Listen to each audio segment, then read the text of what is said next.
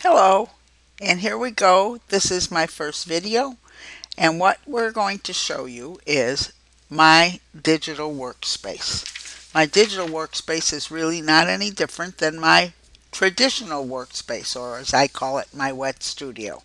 What we have right here that I'm painting on at the moment is my working surface. And my working surface at this moment is linen canvas. You can see that here.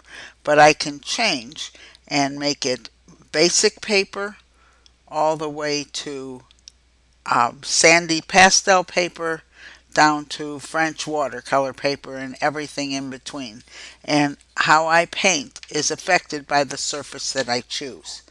The next area is for me to select the tools that I'm going to use and those are right here. My brush, but I have a type tool, I have a magnifying glass, I have a paint bucket, I have an eraser tool, and a whole lot of other tools. These are the colors that I'm presently working with, and as you can see, I'm painting with blue.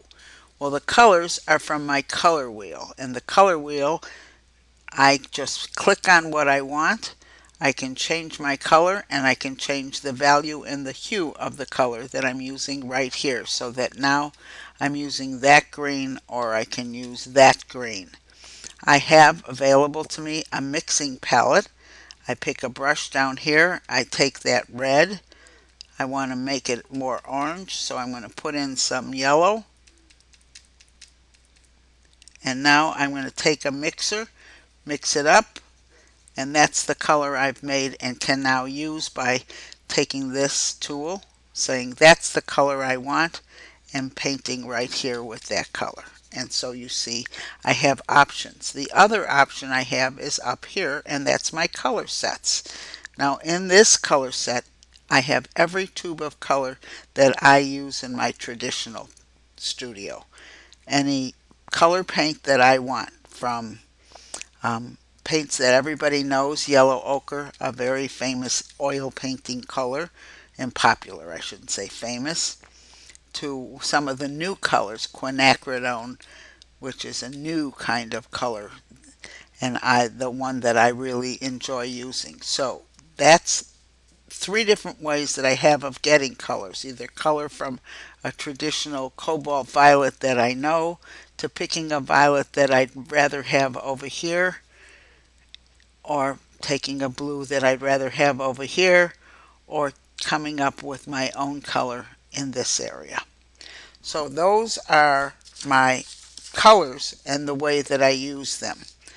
Um, I have available to me and can make for myself any kind of little palette that I like using all different kinds of drawing tools.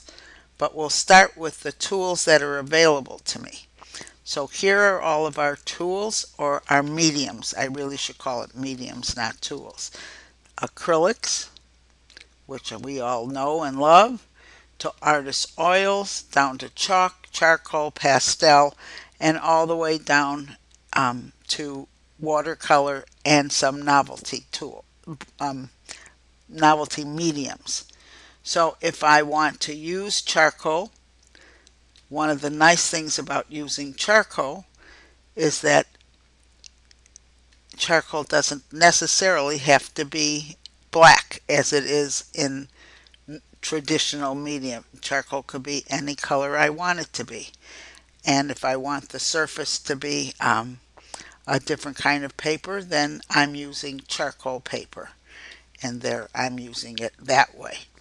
Now the last thing that I have once I pick the medium that I want is all this variety. Uh, I can have a sharp charcoal pencil. I could have um, a hard charcoal pencil. So there's all differences. That is an overview of what's available in my workspace.